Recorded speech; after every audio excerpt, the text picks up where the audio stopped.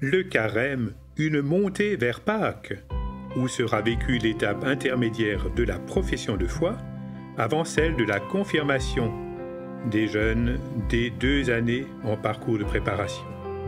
Avec eux, réjouissons-nous de leur journée réconciliation vécue dans le havre de paix du Dusenbach.